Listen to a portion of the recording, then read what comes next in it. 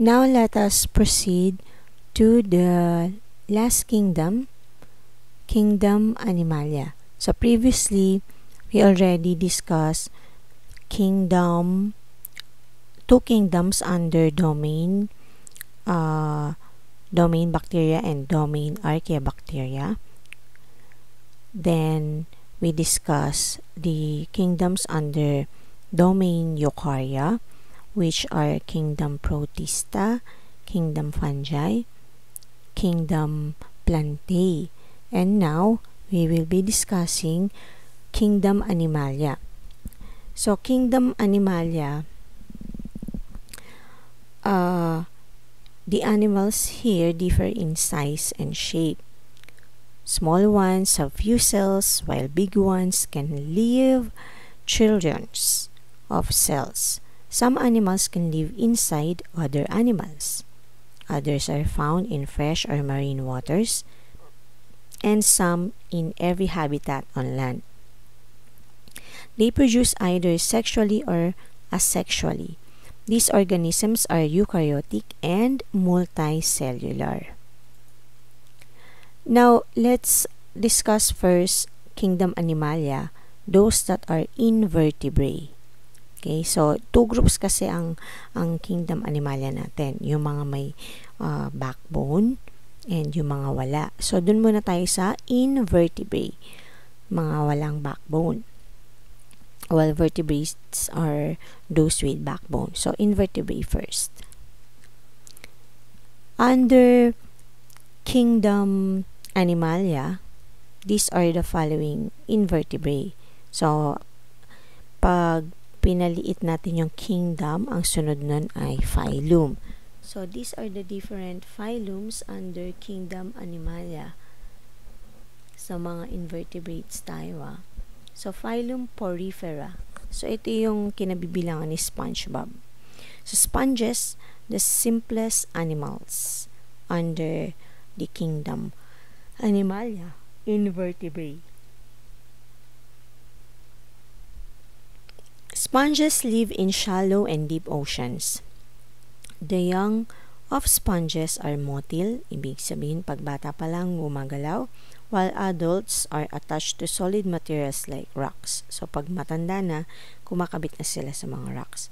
The body of hard sponge is supported by skeleton, ang tawag spicules, made of either glass silica or calcium carbonate. So matigas. Yan yung structure niya. Now, makikita natin, may mga spicules. Okay, tapos yung daluyan ng water niya, yung bunganga. Yan. Kapag bata pa, no, gumagalaw yung mga yan, pero pag matanda na, nakadikit na sa rocks. Next, phylum Nidarians yung mga members under this phylum are animals whose tentacles contain stinging cells called nematocysts. So, may mga tentacles to mga to. Uh, these poison-filled structures are used for defense. Defense mechanism nila yun, yung poison. And also to capture their prey for food. So, para may makain sila. So, yung mga examples ito are jellyfishes. Ayan, phylum ni Darian yan. Corals and hydra. Ayan, yung mga itsura nila. May mga tentacles sila na may mga poison. Okay? And these are their uh, reproduction na um, cycle nila. Ganyan yung itsura. So, meron silang mode na kung saan asexual reproduction and then biglang nag sa sexual reproduction. Okay? Then the cycle goes uh, paulit-ulit. Next, phylum Platyhelminthes. In Greek, platys means flat. So they are flatworms. Helminths means worm, so flatworms. They are flat and ribbon-like organisms. Flatworms are found in fresh water, in wet places, and marine water. Examples nito yung mga free-living or non-parasitic worms. Meron din naman mga parasitic tulad ng flukes and tapeworm. So, basta flat. Okay? Flatworms yun. Ayan. So, iba-iba, no? Nakikita natin yung utak nila, yung nerve cord, pero hindi naman talaga yan yung talagang spinal cord. And then, sa isang katawan, nandun yung ovary, nandun yung testes, may penis, ayan. So, ganun yung ano nila, structure sa katawan. And they come in different colors. Next, phylum Nematoda. Okay, they are known as roundworms. Roundworms are also known as nematodes. They have long cylindrical and slender bodies Some roundworms are free-living while others are parasites. So, parasites sila no, sa mga animals and plants. Free-living ones are important as they are decomposers in soil in both marine and fresh water. So, nakakatulong tong mga roundworms na to, yung mga free-living, ha, hindi yung mga harmful, bilang decomposers. Okay? Examples nun are trichina worms, hookworms, minworms, ascaris, ay, yan, yung mga yan, yung mga ascaris, ganyan, uh, medyo harmful na yan. Okay, mga ascaris, hook, hookworms, mga examples yan ng mga roundworms. Ayan, ang itsura nila. So, ganyan kapag male, may testis, sperm duct, then pag ovary, ganyan. Okay, may uterus din sila. Ayan. So, iba-iba yan, no? May free living, may harmful, Yan yung mga uri ng roundworms. Kanina flat, ito naman round. Next, phylum Annelida. Also known as annelids, these animals are characterized by segmented or repeated body parts. So, napuputol-putol, okay? Or paulit-ulit yung body parts nila. This makes them move easily and with flexibility. Annelids are mostly found crawling in moist soil or swimming in sea or fresh waters. So, dun sila lumalangoy. Example nun, earthworms, pilochetes, and leeches, yung mga linta. Okay, under sila ng anlida. Kaya itsura nila, repeated body parts, no? Pa, chop-chop. Tapos, ganun ulit yung itsura. Ayan. Mga itsura nila.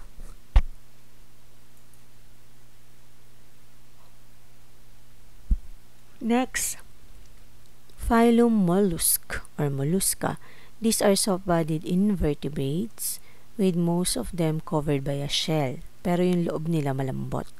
Okay? So, si Gary, yung snail sa SpongeBob, mollusk yun. Okay? They have complex respiratory, reproductive, circulatory, digestive, and excretory system functioning together for survival. So, akalain mo yun sa mga maliliit at malalambot na bahagi ng katawan nila, meron silang uh, complex system. Uh, they have three body parts, yung paa nila, muscular foot for locomotion, mantle that produces the shell, and the visceral mass, ito na yung laman loob nila. So, example nyo, mga snail. Ayan. Ayan. Yan ang under ng mollusca. Okay? Mga snails, uh, mga clams, bivalves. Bivalves yung two shells. Univalve yung isa lang, no? Andyan din yung nautilus. Ito yun. Okay. Then, ito yung mga suso. Yan. Next, phylum echinoderms. All echinoderms are found in marine environment. Parts of most echinoderms radiate from the center of the body. So they have spines which are extensions made by hard calcium. So yung skeleton nila ang tawag endoskeleton. Ano mga examples yan? Sea star, sea urchin. So si Patrick dito pala, no? Sandalar, si lily, si cucumber. Ayan. Uh, unique to echinoderms is the presence of water-filled tubes that spread out to form tube feet. Okay, so makapit yung tube feet nila. Tube feet are used for getting food, moving around, and gas exchange.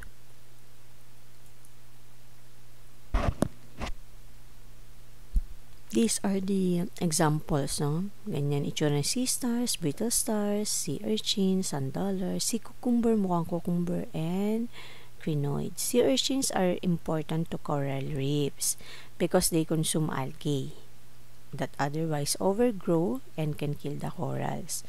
So, maganda yung may sea urchins tayo, no? Pero, madalas, uh, kinukuha yan, binibenta. Uh, sea stars are predators to corals. Okay? So, uh, posing a threat to the existence of the coral reefs. Pero, in a large amount yun. But overall, uh, meron pa rin siyang role na ginagampanan sa ating marine environment. Yan ang mga itsura. Ang gaganda nila, di ba?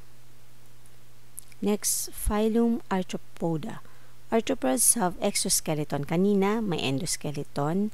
Ito naman, yung arthropods, exoskeleton. So, matigas-tigas to. This is made up of chitin and varies from thin and flexible to thick and hard exoskeleton. Arthropods are grouped based on type of exoskeleton. So, the number of body sections, yung pagkakahati ng katawan nila, and mga appendages or mouth parts. Appendages may be used for avoiding predators, getting food, walking, or swimming. So, maraming gamit. Anong example ng arthropods? Mga arachnids, crustaceans, millipedes, centipedes, and insects. So, ang dami, no?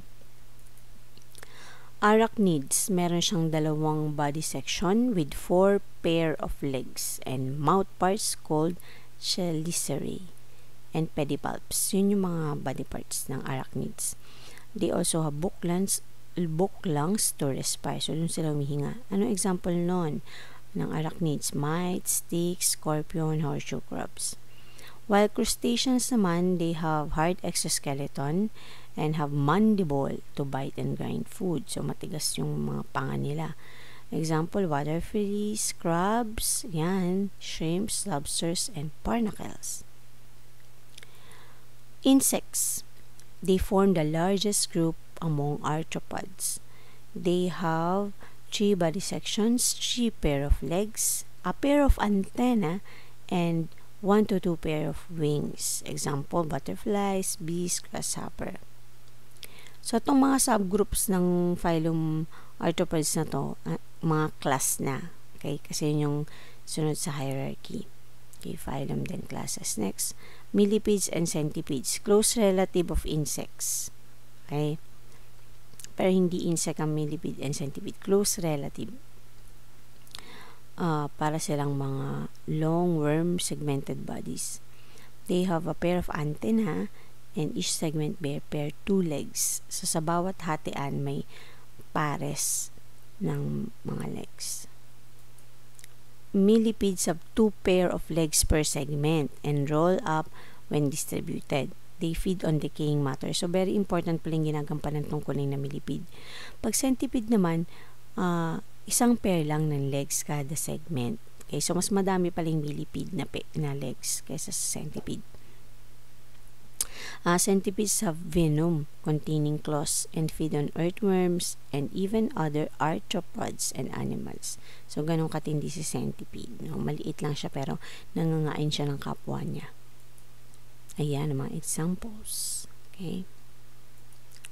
Ito pa. Yan. Ito, ano to, um, centipede. Ito, millipede yan, ito naman yung mga spiders, no? Walo yung mga ano nila.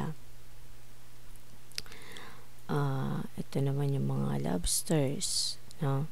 Yan yung mga examples ng mga arthropods. Now, moving on. Ah, ito pa pala. Yung mga insects, uh, madami yan. So, that ends our topic about Kingdom Animalia invertebrate. Okay, Once again, we will talk about kingdom Animalia, but this time vertebrae. So again, kingdom Animalia, the animals here differ in size and shape. Small ones have few cells, while big ones have trillions of cells. They can live inside other animals, but others are found in fresh or marine waters and some in every habitat on land. They produce either sexually or asexually. These organisms are eukaryotic and multicellular. So, hindi sila single cell, ha? multicellular. Kasi complex na tong mga to. So, again, we have two groups, invertebrate and vertebrate. We are done with invertebrate. Okay, so this time vertebrate, meron silang backbone. Phylum Chordata. Animals belonging to Phylum Chordata have four characteristics that are present in any of the stages in their life cycle. First, they have notochord, the dorsal hollow nerve cord, gill slits, and post-anal tail. In many chordates, notochord later become the backbone. Ayan, dun na nag-evolve yung notochord, nagiging backbone. Vertebrates. Uh, most vertebrates are sea and land dwellers. Notochord is replaced by backbone, kinalaunan. The nerve cord is enclosed by a projections of the vertebrae. The, protect, the protected nerve cord enlarges at the anterior end uh, to the anterior end and to develop into the brain. So, yun yung endpoint niya, no? Ah, yung cord na yon, di ba yung sa likod natin, mahaba yan, hanggang brain nakakabit. The tail can be the bone and muscle that animals use for swimming in aquatic species. So, madaming uri ng buntot, no? Yung sa mga fish, ginagamit yon for swimming. Okay? Uh, for some vertebrates, the gill slits remain till the adult stage. So, may mga gills yung iba hanggang adult. In others, these are modified into structures for gas exchange. So, para makahinga sila sa water, uh, modified yung kanilang mga gills. Yun yung nagsisibing lungs nila. So, let's move to class of fishes. I mean, phylum. Okay. Uh, These are vertebrates found in salty, fresh, cold, or even hot water. Most uh, have scales for protection, paired fins for the movement, and gills for gas exchange. So, napaka-halaga ng gills no, para makahinga sila. They are cold-blooded because their body temperature changes when environment uh, temperature changes. So, madali silang mamatay kasi di sila nakaka-adapt agad sa environment. Okay. So, let's move to classes. Sabi nga natin, after ng phylum, uh, maliit na um, classification niya under ng phylum is class. So, class Agnata, these are jawless fishes. Examples are lampreys and hagfishes. Yung lampreys, parasite yon na may mga ngipin na tusok-tusok, naka-attach sa body nila yung ibang isda and they feed on their tissues and blood. Diba? Ganun sila. Ayan, maitsura nila, ba? Parang nananakmal talaga. Next, class Chondrichthyes. They are cartilaginous fishes. Okay? Chondri means cartilage. So they have skeleton made up of soft, flexible protein material called cartilage.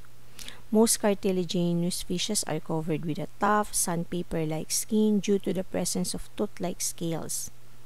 Ano example nun? Mga rays, skates, and sharks. Ayan ang itsura nila. Next class, Ostrictes. These are bony fishes. Kanina, yung fish na nauna uh, cartilaginous fishes. Dito naman bony fishes. Okay? Osteo, ostick uh, bone, ibig sabihin nun. These are the fishes that have endoskeleton made up of hard calcium material called bone. Uh, mat so matigas-tigas yung kanilang mga cartilage, no? Talagang uh, yun ang kanilang buto or backbone. Examples are bangus, tuna, seahorse, globefishes. Ayan. Ang cute ng mga seahorses, no? And, um, iba-iba yung kanilang itsura. Pero, maganda yung ginagampanan nila sa isa't isa. Kasi yung yung father yung nagki-carry nung mga ano nila, young. Okay. Next is class amphibians. So amphibian means double life. They can live uh, in water and partly on land. Most lay small, shell-less eggs surrounded by jelly-like substances in moist places or in water. So, dito, nawawala yung tail nila para ma-develop yung lungs and legs to move on land, but close to water. So, yung transition niyon nakakapag nakakapunta sila sa land, pero dapat malapit sa tubig pa rin para mabilis silang bumalik. They have moist skin to help the lungs for gas exchange while in dry land. Example, Sicilian, salamanders, frog, toads. Ayan yung Sicilian. And then, ito yung mga frog, ito yung toad. So, makita natin yung difference ng toad, no? Iba yung structure niya. Medyo rough. Yan, salamanders, ganyan. Cute mga salamanders, no? Iba-iba color. Next, class Reptilia. So these are reptiles. They lay the egg with shells to protect them from drying. They also have smooth and rough scales for protection from loss of body water. So ito yung mga itlog nila may shell, no? Na nababasag talaga. Example, lizard, snakes, crocodile, alligator, mga turtles and tortoises. Ayan, ang mga itsura nila. Ayan, pa nagkaiba ng alligator sa crocodile, no? Yung, ano nila, yung gilid ng mouth. Tusok-tusok sa crocodile, sa alligator, smooth. Pag turtle and tortoise, ito naman sa baba, ayan, no? Yung itsura nila. And then, ito yung mga lizard, ganyan, sa taas. Next class, aves. Aves means birds. So, they are adapted to fly. Characteristic that enable them to fly include, number one, dapat may wings, may feather, large flight muscle in breast, uh, tapos, may, syempre, may breastbone, tapos reduce weight para makalipad. Birds have bills or beaks, mga tuka. Eggs with shells and legs are covered with scales. Body temperature remains the same despite varying environmental temperature due to feather insulation. So, napakahalaga na may feather pala sila, no? Si insulator nila yon. So, examples are eagle, hummingbird, mockingbird, seagull, etc. Ayan, mga itsura nila. Kukit ng iba, no? Ay, may mga parrots pa pala dito. Next class, mammalia. These are mammals. Belong tayo dito. Mammals differ from other animals because they have mammary glands that produce milk to nourish their young and most have hair or fur. They breathe in air. They have four chambered hearts and are warm-bodied animals. Most of them also give birth to the live young and take care of them. So, nanganganak din sila. At ano yun, uh, buo, hindi itlog. Pero yung iba, may ganun, no? naglilay ng egg. Examples are monotremes, marsupials, and euterians. Ayan. Eh, yung mga nasa left side, ay, yung itsura ng marsupial. Okay, may mga mole, may mga glider. Ayan, kapag euterian mammals naman, mga deer mouse, mole, flying squirrel, marsupial, mga bumba, Tasmanian devil, kangaroo, and deuterian animals ulit, mga woodchuck, wolverine, and what's this one? Mga cavy. And of course, um, ang ating dolphin. Yan, mammals yan. Pag monotremes, naglilay sila ng egg. Okay? Sino yung mga yung platypus, mga ano, mga, what's this? Echidna. Ayan. Tapos may mga kangaroo, wallaby. So, iba-iba yan, mga yan. Uh, they are called monotremes. Why? Because they lay eggs similar to those of birds. Example, ng mga naglilay ng eggs tulad sa birds are spiny anteaters, duck-billed platypus. So, pag sinabi nating marsupials naman, sila yung pouch mammals. Uh, they give birth to live young. They kept it inside the pouches. Doon na sinusuksok and are nourished with milk from the mammary glands of the mother. Example, koalas, kangaroos, wombats, and palangers. And last, mga euterians. These are placental mammals. So, dito na tayo belong, no? Kasi may placenta tayo, mga girls.